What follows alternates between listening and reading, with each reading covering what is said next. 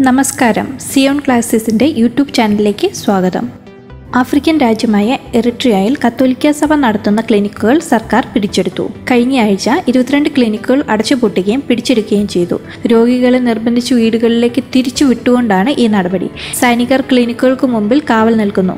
ഒരു വർഷം നാൽപ്പതിനായിരം രോഗികൾക്ക് സേവനം നൽകിയിരുന്നവയാണ് ക്ലിനിക്കുകൾ. സഭയുടെ സേവനം ഈ രാജ്യത്തിന് വേണ്ടെന്നും സർക്കാരിന് പറയാമെന്നും പക്ഷേ സ്വത്തുക്കൾ സ്വന്തമാക്കുന്നതിന് നീതീകരണമില്ലെന്നും മെത്രാൻ സംഘം സർക്കാരിന് അയച്ച കത്തിൽ പറഞ്ഞു. കുടിയേറ്റം ഉൾപ്പെടെയുള്ള വിഷയങ്ങളിൽ സഭ സർക്കാരിനെ വിമർശിച്ചതിനുള്ള പ്രതികാര നടപടിയാണ് ഇതെന്ന് കരുതപ്പെടുന്നു.